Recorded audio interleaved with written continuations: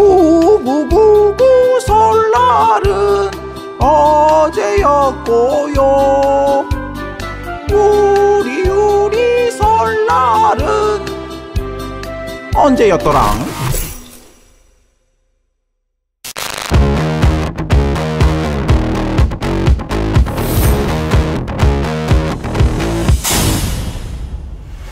새로운 새해가 찾아왔어 2021년 끝났어. 작년에 난 대체 뭘 한 걸까? 밥 먹고 잠자고 다시 먹고 더 이상 이대로 안 되겠어.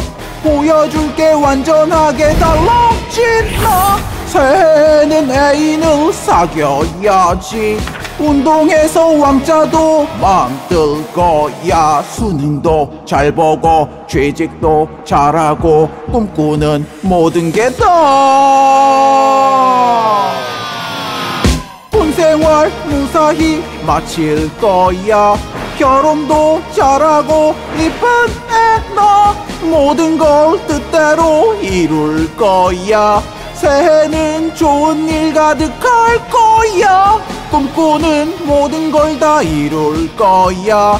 짧은 독자 새해 복 많이 받아